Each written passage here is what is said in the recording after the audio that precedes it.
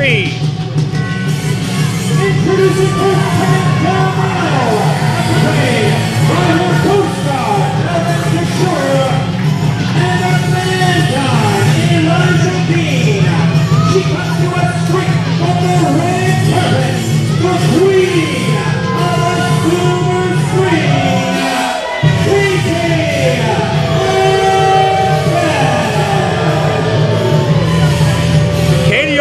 with her entourage. Calvin Couture, of course, and the man dime, Elijah Dean. I'm not sure what the heck anybody's wearing, so I'm not going to comment on it.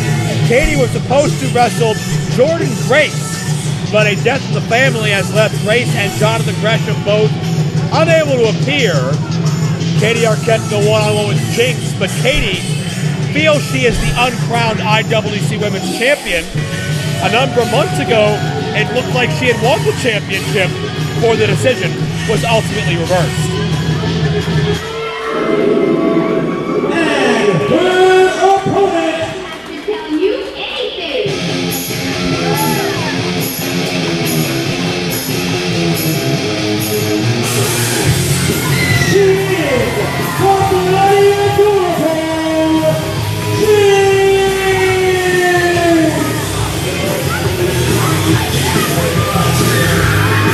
Calls herself bloody adorable.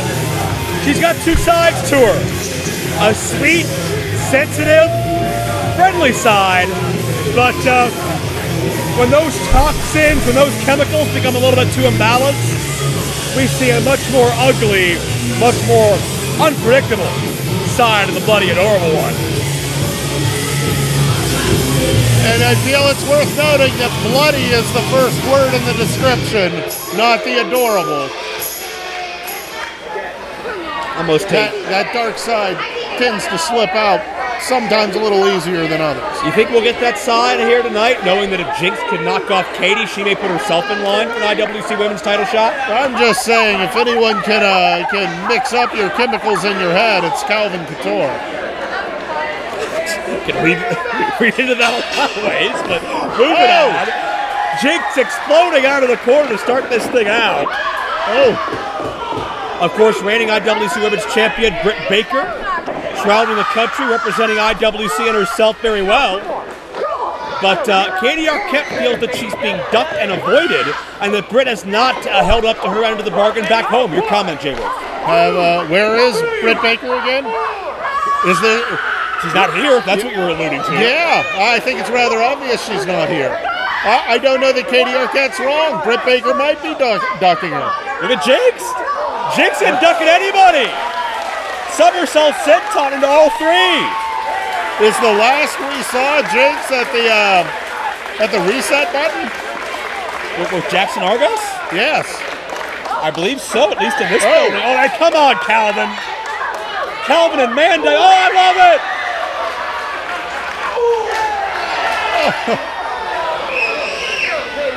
That was a long time coming. The entourage did paid the price but got the job done. Who's Katie? Arquette back on top. Who's unbalanced and who's chemicals now? There's a cover for two.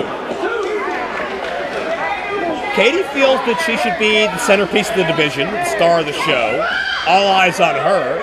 Hard to argue with uh, some of her efforts. Of course, uh, who could forget her cage match with Lufisto a year ago at this event?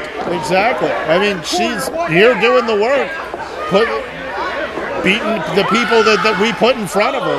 She makes a very valid argument. Why do Calvin and Elijah have like geisha fans out here? It's part of the theme. What's the theme? I'm annoying. I, I have. You'll have to ask them. I don't want to mispronounce it. Rather not. Oh, hip attack. Jinx in a bad way. Katie the aggressor. Cover here. Two count only. If Katie's victorious, does she deserve a shot against Britt? Absolutely. She already deserves a shot against Britt. Suplex coming up. I feel that if anything, it's already her shot. It's just her shot to lose. Could be. Katie and Jinx debuted at, uh, what, there's a cover there. Two count only. Debuted at uh, Proving Ground over a year ago. Proving Ground coming up uh, around the pike next month, I do believe, as uh, we welcome our next crop of IWC Young Talent, the Young Talent Initiative. And Katie sends Jinx to the outside. These two had uh, came up together in training. They've been parallels in IWC since. Katie's gotten more attention, but I think Jinx maybe resents that a bit. Well, I mean, I think Oh, a lot of people resent, resent Katie Arquette, proving her right. When you're the when you're the centerpiece, when you're main stage, all the understudies want you to fail. Cover for two. So you'd go as far as to label Jinx as Katie's understudy. Would you consider Jinx to have reached the level of Katie Arquette? Not yet, but certainly a victory here to change that. What are we arguing about? You agree with me, and you still want to fight me on this. Jinx will do. Jinx will rise up in the stature if she beats someone of the stature of Katie Arquette. Well, there's a power slam, a sliding clothesline. That could happen right now. Jinx a near fall. A win against Katie Arquette is a big notch in your belt, Joe. Well, Katie put the brakes on to get violently hurled towards the corner, able to save herself, but Jinx follows through.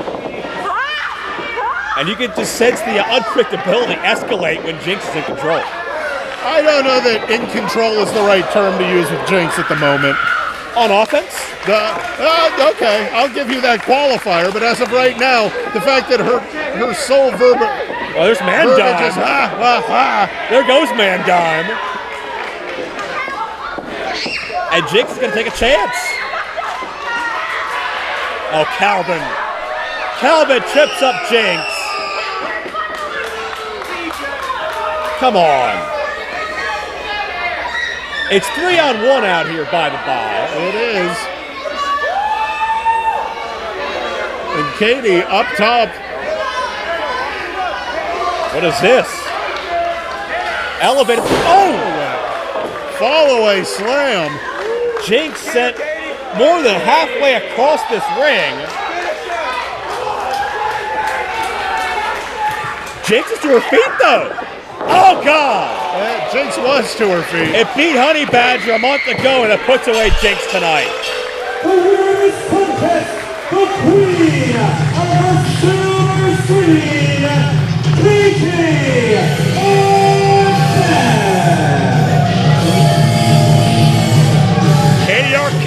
another emphatic victory. What's going through the mind of Britt Baker once she gets wind of this? She has to be worried. Like I said, it's already Katie Arquette's shot. It's just when does Britt Baker show up to let her take it? Jordan Grace might have something to say about that once she gets back. Well, let's hear from the uh, star of the show, self-described.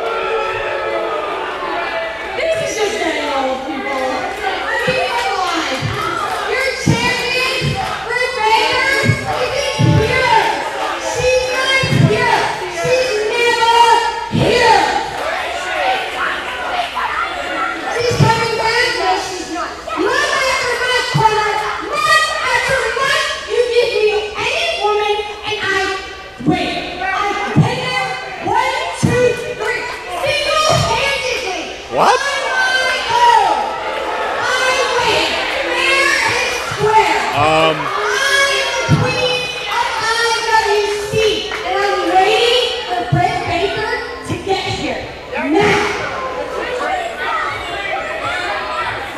well,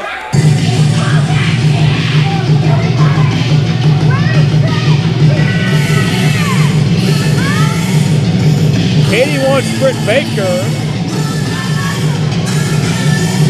She's not going to get her tonight, but it may only be a matter of time. Is Katie set to take center stage in the lead role of IWC's women's division? Well, Only time will tell, as we can't find out tonight, because as Katie Arquette pointed out, Britt Baker not here.